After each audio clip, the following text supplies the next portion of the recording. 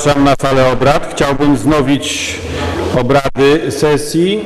Przerwa została przedłużona. Mam nadzieję, że wszyscy Państwo skorzystali z możliwości spożycia posiłku i bardzo proszę, zapraszam serdecznie na salę obrad. Chcę wznowić obrady, tym bardziej, że mamy jeszcze tylko dwa punkty procedowania w trybie dwóch czytań, pierwszych czytań, a potem będą głosowania i bardzo proszę o frekwencję, o obecność, bo do tego jest niezbędna obecność większości Rady. Zapraszam również panią Cecylię Wołoch, żeby była. Jest, tak, przepraszam, bo będziemy procedować ten punkt, odwieszamy. Proszę Państwa, wznawiam obrady 87. sesji Rady Miasta Krakowa. Proszę Państwa, przerwaliśmy obrady podczas procedowania projektu uchwały w trybie dwóch czytań, określenie wysokości stawek podatku od nieruchomości, projekt prezydenta miasta Krakowa, druk nr 1481. Odbywamy obecnie pierwsze czytanie. Wprowadziła nas projektodawczyni, czyli pani dyrektor Cecylia Wołoch, a w tej chwili pytam o to, czy są prezentacje komisji, stanowiska klubów radnych. Jeżeli tak, zapraszam. Proszę bardzo, pan radny Kalita zaprezentuje stanowisko klubu radnych Prawa i Sprawiedliwości. Panie Przewodniczący, Szanowni Państwo, stanowisko Klubu Radnych Prawa i Sprawiedliwości Rady Miasta Krakowa do projektu uchwały w sprawie wysokości stawek podatku od nieruchomości druk 1481. Klub Radnych Prawa i Sprawiedliwości jest przeciwko projektowi uchwały Pana Prezydenta. Pan prezydent przygotowując e, tę uchwałę, a kluby radne PO przyjmując i realizując politykę podatkową Gminy Miejskiej Kraków na lata 12-14 corocznie zwiększają podatki na terenie Krakowa. Po latach niskich podatków w poprzednich kadencjach rządząca Krakowem koalicja w czasach kryzysu zaczęła podwyższać je znacznie, które zbliżają się obecnie do maksymalnych blisko 100% stawek określonych przez ministra finansów. Niewykluczone, że większościowy klub Platformy Obywatelskiej wypracowuje w ten sposób coroczne środki finansowe na swoje poprawki do rocznego budżetu Krakowa, przyjmowane również przez będącego w koalicji z nim prezydenta w drodze autopoprawek. Wzrost podatku od nieruchomości pogłębia także pogarszającą się kondycję finansową mieszkańców miasta, szczególnie tych gorzej sytuowanych. Bolesne dla krakowian podwyżki wprowadzone już w tym roku, m.in. ceny biletów, opłaty za śmieci, za wywóz śmieci nie mają końca. Dla prowadzących działalność gospodarczą zamiast kreować rozwój firm jest kolejnym niekorzystnym bodźcem kierującym do kolejnych cięć i ograniczenia zatrudnienia. Wyższe podatki w Krakowie wypychają firmy do gmin ościennych, które mają inny ekonomiczny atut, na przykład tańszą ziemię. Dlatego też Klub Radnych Prawa i Sprawiedliwości głosować będzie przeciwko propozycji prezydenta miasta Krakowa. Dziękuję panu radnemu. Czy są stanowiska innych klubów radnych? Stanowisko klubu? Bardzo proszę, pan radny Stanisław Zięba.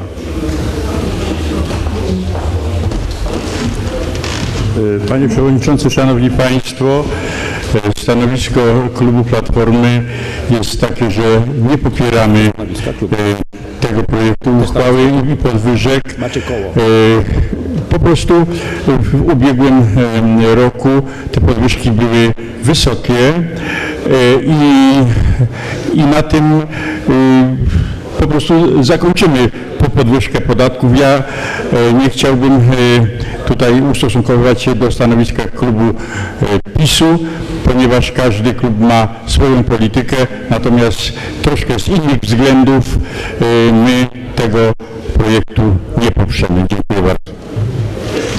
Dziękuję bardzo. Proszę bardzo, otwieram dyskusję. Proszę bardzo, pan radny Gilarski. Panie Przewodniczący, Szanowni Państwo, mm, skoro tutaj jak słyszę e, po wystąpieniach klubowych jest zgoda co do tego, że będziemy popierać tego projektu, a zgoda buduje, więc ja w takim razie pozwolę sobie złożyć wniosek o odrzucenie tego projektu e, w pierwszym czytaniu, gdyż już nie chcę powtarzać głosów moich poprzedników, ale ta kadencja jest kadencją, chyba e, rekordową ilość podwyżek nam zafundowała od początku istnienia samorządu krakowskiego. Ktoś jest kiedyś zliczył, więc może nie będę tego powtarzał, sam to przeliczę. Natomiast e, na ostatnia podwyżka w zakresie wysokości stawek podatku od nieruchomości miała miejsce 21 listopada w zeszłym roku, więc e, myślę, że ona i tak już e, jest e, podwyżką, która czasami bywa trudna do czasami bywa trudno do tego, aby mieszkańcy mogli w tych trudnych czasach kryzysowych się wywiązać z tych podatków, a wiemy, że w czasach kryzysu to samorząd lokalny powinien chronić swoich mieszkańców, ich wspierać, pomagać, bo dodatkowo na mieszkańców mm, nakładane są różne daniny i obciążenia mm, ze skarbu państwa, nie tylko przez gminę. W związku z tym no, gminy powinny e, jak w najmniejszym stopniu e, opodatkowywać swoich mieszkańców i tak jak powiedziałem, dlatego składam wniosek formalny o odrzucenie tego projektu uchwały w pierwszym czytaniu. Dziękuję. Dziękuję. Proszę bardzo, kto z Państwa jeszcze chciał zabrać głos w dyskusji? Aha, przepraszam, pan radny Włodzimierz Pietrus.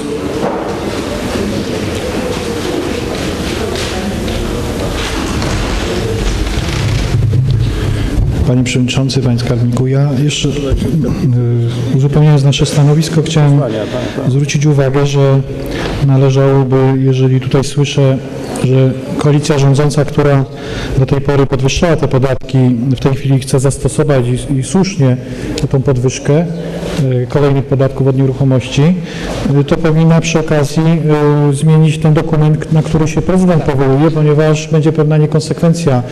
My jako Klub Prawa i Sprawiedliwości głosowaliśmy przeciwko przyjęciu polityki podatkowej na lata 2012-2014, właśnie wykazując, że te podwyżki są nieuzasadnione w tym okresie.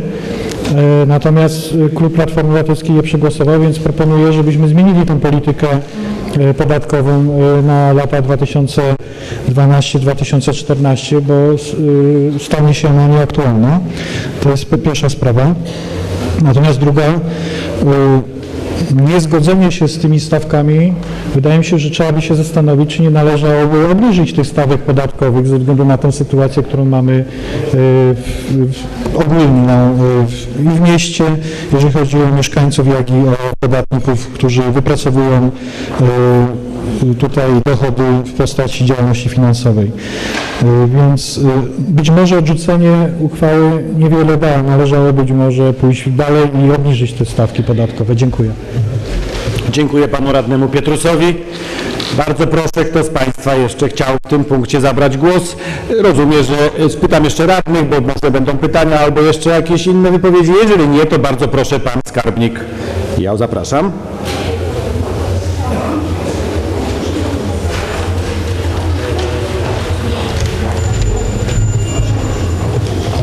Panie Przewodniczący, Wysoka Rado Stołecznego Królewskiego Miasta Krakowa. Otóż muszę przyznać, że podobnie jak Turek, który co roku dziwi się spadającego śniegu, ja dziwię się, w jaki sposób możemy dyskutować coś, czego kierunek Wysoka Rada przyjęła. I naprawdę dla mnie, jako skarbnika miasta Krakowa, jest rzeczą obojętną, kto jak głosował. Jest uchwała Rady Miasta, która zobowiązuje również mnie do przedkładania wyliczonych skutków tych stawek podatków, na których opieramy projekt budżetu. Przecież projekt budżetu musi być złożony Regionalnej Izbie Obrachunkowej oraz Wysokiej Radzie do 15 listopada. To jest termin ustawowy. Obecnie trwają już zaawansowane prace nad projektem budżetu na rok 2014 oraz projektem wieloletniej prognozy finansowej na lata 2014 do 2049. Chciałbym parę rzeczy uprzytomnić Państwu radnym. Otóż problem nie polega tylko na tym, że my obniżamy maksymalne ustalone przez ministra finansów stawki podatkowe. Poprzez obniżenie tych stawek działamy podwójnie. na niekorzyść finansów samorządowych Krakowa. Po pierwsze, nie uzyskujemy dochodów, do których minister finansów ostatnio nawołuje, wskazując gminom, że nie wykorzystują tej możliwości, a po drugie, minister finansów obliczając czy naliczając poszczególnym gminom, to tak zwane janosikowe, w stosunku do którego wszyscy protestujemy, ustala je na poziomie maksymalnym stawek podatków i opłat lokalnych. Maksymalnym, to znaczy my płacimy janosikowe również od dochodów, których się pozbywamy a które minister finansów traktuje jako potencjalne dochody i od potencjalnych dochodów liczy na mianosikowe. Jakie to są kwoty? Bardzo proszę, drodzy Państwo. Kwoty janosikowego od roku 2010 64,5 miliona, 2011 67 milionów, 2012 61,5 miliona, na rok 2013 wypada to około 57 milionów. Niebagatelna kwota, liczona również od dochodów, których nie uzyskujemy. Kolejna sprawa. Gdyby światłym posłom naszej Rzeczpospolitej udało się doprowadzić tylko do jednej rzeczy, a mianowicie, żeby jeśli chodzi o podatek od nieruchomości od osób fizycznych, potraktować co roku jako koszt uzyskania przychodów w rozliczeniu PIT-u, to wtedy działalibyśmy na rzecz finansów samorządowych. No ale co się dzieje, drodzy Państwo? Otóż opłacamy z dochodów, nie traktując tego jako koszt uzyskania przychodów, co ma miejsce w przypadku CIT-u, czyli podatku dochodowego od osób prawnych. Tam podatki i opłaty lokalne zaliczane są do kosztów. Ale co to znowu oznacza? Że jeśli my obniżamy podatki, stawki podatków lokalnych, w tym od nieruchomości, od środków transportu, dla firm, osób prawnych, to znaczy, że obniżamy im koszty. A jak obniżamy koszty, to co się dzieje? Rośnie zysk, dochód do opodatkowania i podatek dochodowy od osób prawnych odprowadzany jako dochód podatkowy budżetu państwa. Jak Państwo widzicie, nasze podatki w tej logice systemu podatkowego obowiązującego w Polsce są niezmiernie niekorzystnie usytuowane dla tych, którzy decydują o ich wielkości, to jest dla samorządu. Ponosimy podwójne, czasami potrójne koszty. Następna sprawa, którą chciałbym podnieść, drodzy Państwo, to jest ta kwestia wyprowadzania się firm i y, osób fizycznych z Krakowa do sąsiednich gmin, jakoby spowodowana stawkami podatku od nieruchomości. Otóż, drodzy Państwo, wielokrotnie uzasadniałem, że tak nie jest, że podatek od nieruchomości ma tu najmniejszą rolę. Natomiast klasa średnia dlatego ucieka z miast do sąsiednich gmin, bo grunt jest tam tańszy, ale na ceny gruntu żadna rada gminy nie ma wpływu. Grunt tam jest tańszy i tam można taniej wybudować dom, który w przypadku gminy miejskiej jest parokrotnie droższy ze względu na cenę gruntu, a nie podatków. Macie Państwo podane, macie Państwo podane w uzasadnieniu grunty od budynków mieszkalnych. Krakowie 70 groszy, Warszawa, Poznań, Gdańsk, Wrocław, Łódź 73 grosze, czyli maksymalna stawka. Jeśli chodzi o y, gminy sąsiednie, w granicach naszej 70 groszy. Jeśli chodzi o osoby prawne, również Państwo mają podane w zestawieniu stawki z innych miast podobnych nam wielkością do, w porównaniu z Krakowem i gminami ościennymi. Grunty związane z prowadzeniem działalności gospodarczej. W Krakowie 84 grosze, Warszawa, Poznań, Gdańsk, Wrocław, Łódź 88, czyli maksymalna stawka, Skawina maksymalna stawka, Niepołomice maksymalna stawka, Michałowice mają jedynie o 4 grosze niższą niż w Krakowie. I jeszcze jedna rzecz, drodzy Państwo. Zrobiłem zestawienie i robię go co roku przy okazji sprawozdania z wykonania budżetu, ale ono bardzo często umyka Państwa uwadze. A mianowicie przeliczyłem na ludność tych 12 największych miast. Wielkość wpływów do budżetu każdego tego miasta z tytułu podatków i opłat lokalnych. No nie da się już bardziej obiektywnego miernika sporządzić, jak poszczególny mieszkaniec obciążony jest wielkością tego, co jego samorząd uchwala. Jeśli chodzi o Kraków, na koniec roku 2012 to obciążenie wynosiło, łącznie osób prawnych i osób fizycznych, wynosiło 667,5 zł. W Warszawie obciążenie mieszkańca Warszawy podatkami i opłatami lokalnymi wynosiło 817 zł. To jest o 22,5% wyższe niż w Krakowie. Jedna piąta to nie mało. Ale żeby było jeszcze lepiej, w Wrocławiu, drodzy Państwo, jest wyższe 670, prawie 9 zł. Nie mówiąc o Gdańsku, w którym obciążenie jednego mieszkańca wynosiło 911,4 zł. To jest o 244 zł wyższe niż obciążenie mieszkańca Krakowa.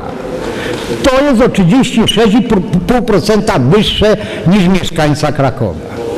Drodzy Państwo, oczywiście my możemy nie zwracać uwagi na te okoliczności, o których mówię i mówić, że podjęta uchwała trzy lata temu dotycząca polityki podatkowej była podejmowana no, w takich okolicznościach, w jakich dalej tkwimy. Tu okoliczności nie zmieniły się prawie w ogóle.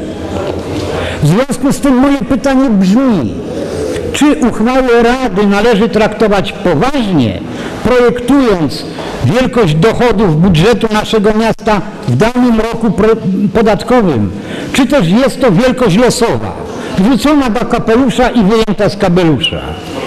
Osobiście przestrzegam przed takim projektowaniem budżetu. Należy opierać się na faktach, a fakty tworzą y, uchwały wieloletnie, ustawy, jak również wielkości makroekonomiczne w dużej mierze oparte również na części historycznej. Chciałbym jeszcze raz uzmysłowić, mieszkaniec Krakowa nie jest obciążony ponad miarę.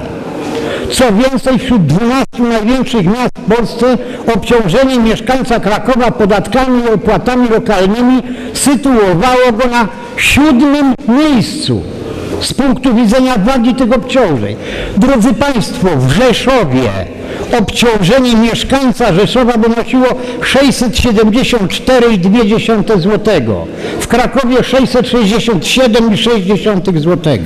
Porównujmy potencjały i potem mówmy, który potencjał jest mniejszy, a mieszkańcy danego miasta biedniejsi.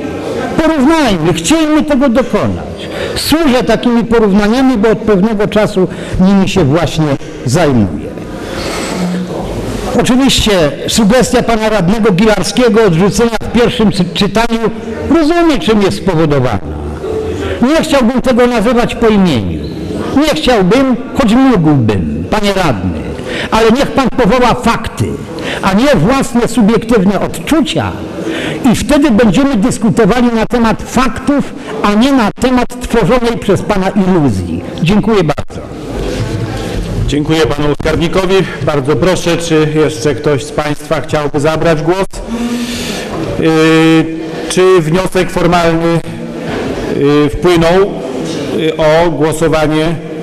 Yy, jest, tak? Wniosek formalny pan podtrzymuje o odrzucenie w pierwszym czytaniu, tak? Proszę Państwa, yy, tak, w bloku głosowań skończę jeszcze, mam dwa punkty, będziemy głosować w bloku głosowań również i tę kwestię, jak już przyjęliśmy pewną zasadę, trzymajmy się jej do końca.